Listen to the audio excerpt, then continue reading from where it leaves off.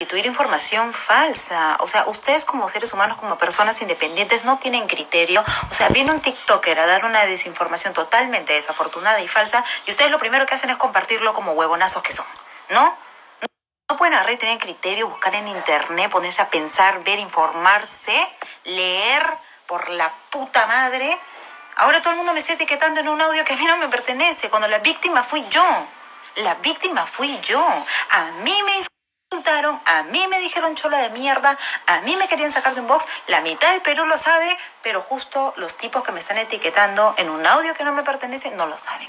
Se dejan influenciar por lo que dice un TikTok. Ya le escribí a este tipo a ver qué dice, ¿eh? a ver si por lo menos hace un, mea culpa y hace una, unas disculpas públicas del caso.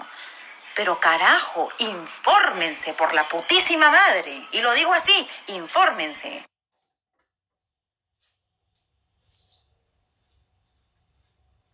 Estoy haciendo este video para dejar las cosas bien claras en relación al video pasado.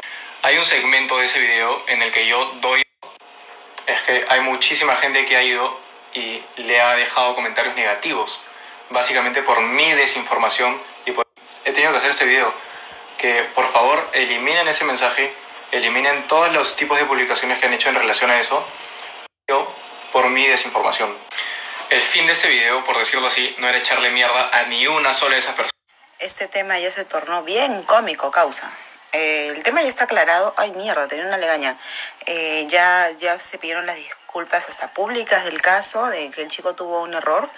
Eh, seguro copió lo, lo que alguien más hacía acerca de este audio. Y ya, ya fue, ¿no? Ya fue. Respecto a mis lisuras, así soy. Siempre digo lisuras. Creo que todos decimos lisuras en casa.